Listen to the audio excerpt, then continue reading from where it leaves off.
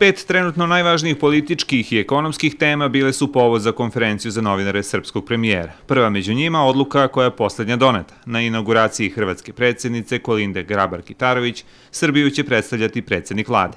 U Zagreb, kaže, nosi poruku mira, koja celom svetu treba da pokaže da je Srbija normalna zemlja kojoj su od lične i političke sujete važni regionalna i politička stabilnost.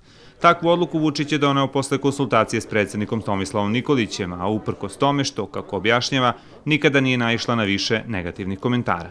Ja svoju odluku da menjam neću, jer nije moj posao da se udvaram bilo kome, nije moj posao da se ulizujem bilo kome, nije moj posao da obavljam i da radim ono što ljudi misle da je dobro u jednom danu ili jednokratno, moj posao je da radim ono što je dobro za naš narod dugoročno. E, koliko međunarodna zajednica imala udela u tome da donesete takvu odluku, odnosno da li je bio neki pritisak na, na vas?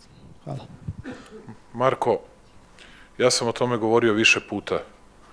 Niko iz međunarodne zajednice nije smeo ni da me pozove, ni da me pita da li idem ili ne.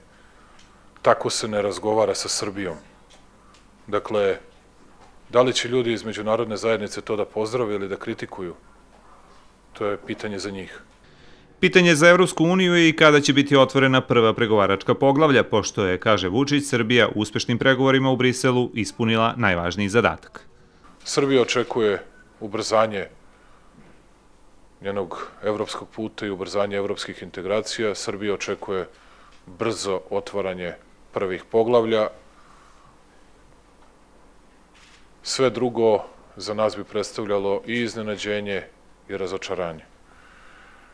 Mi smo u Briselu u okviru karata koje su davno podeljene, loše i nepovoljno podeljene za Srbiju po pitanju Kosova i Metohije, ponašali se odgovorno, ponašali se ozbiljno, igrali najbolje što smo mogli i uradili za srpski narod najviše što je bilo moguće. Ekonomska tema broj 1 trenutno je privatizacija Smederevske železare. Hoće li novi vlasnik postati Esmark, znaće se za 48 sati. Vlada Srbije, kaže Vučić, čini sve da se postigne dogovor sa američkom kompanijom, a za slučaj da on propadne, pripremila je i plan B. Napravit ćemo management ugovor, angažovat ćemo ljude koji su najbolji za kupovinu sirovina i najbolji za prodaju našeg čelika, bit će pod punom državnom kontrolom i proizvodnja će se nastaviti u uvećanom obimu i pokušat ćemo da napravimo tu kompaniju. Iako to nije lako, da je lako, onda bi to neki drugi prihvatali. Pokušat ćemo na svaki način da zaštitimo i 5000 zaposlenih i da pokušamo te kompanije napravimo profitabilno mesto, da li ćemo uspeti, to je već drugo pitanje. Vučić ipak veruje u uspeh dogovora, a dobrim vestima nada se i od borda direktora MMF. 23. februara biće doneta odluka o novom aranžmanu iz predostrožnosti, a vlada je, kaže premijer, na današnjoj sednici ispunila i poslednju obavezu prema toj finansijskoj instituciji. Na pitanje novinara da li je sa američkim potpredsednikom Josefom Bidenom razgovarao i o alternativnom pravcu snabdevanja Srbije gasom, odnosno da li to na neki način znači okretanje leđa Rusiji, Vučić je odgovorio da u toj priči razmišlja samo o energetskoj stabilnosti zemlje nikome nismo zatvorili vrata, mi smo jedini koji u najtežim trenucima i pod posrednim pritiscima nismo uveli sankcije Ruskoj federaciji.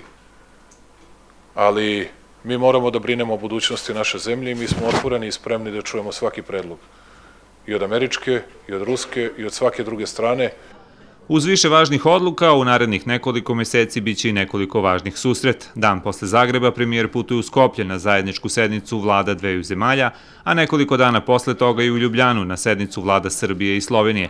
Vučić je prihvatio i poziv da 28. i 29. maja poseti Tiranu gde će učestvovati na velikom ekonomskom forumu.